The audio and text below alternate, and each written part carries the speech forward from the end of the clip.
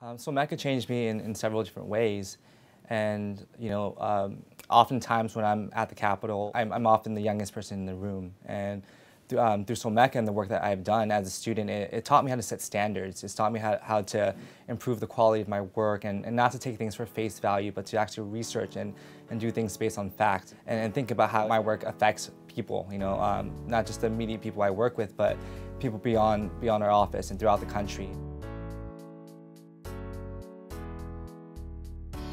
So when I was a student, I was involved with the SUA, uh, Stevenson Student Council, APISA, E Squared, and uh, Rainbow Theater, and those were the many things I was involved in, you know, and, and I was pretty busy. Um, but I, I, did enjoy my experience at UC Santa Cruz. I never thought that I'd be leading anything or, or um, felt that I even had the skill to do that, you know, and, and being a part of the, the variety of organizations I was a part of, it really challenged me to, to do some of the things that I never thought would be possible. I think that what SOAR has taught me is that, you know, if there's anything that we really believe in, there's always a way to, to, to make it happen. And that, you know, um, there's always a way and, and if you're dedicated enough, you'll, you'll find that way. And, and there are people who, um, who are going to be there along the way to support you. And so I think that for me, that was a really great moment because a lot of the things that I've aspired to do has, has been things that like, I never thought I would be doing.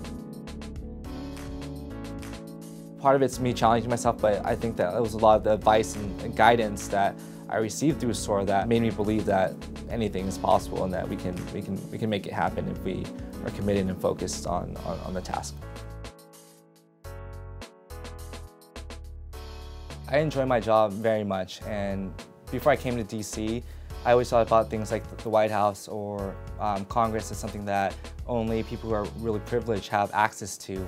And it's not a lot of my peers, it's not people our age, but it's, it's people who have experience or, or expertise in, in, in, certain area who, who get to work with the President or the White House. And so it's been a once in a lifetime opportunity and it was great. Last summer I was able to take a UC Santa Cruz student to the Oval Office to meet the president, and that was um, something that you know none of us was, expecting. But that is what I enjoy about my job. You know, it's not just about me, but I get to share um, the different experiences I have with other people.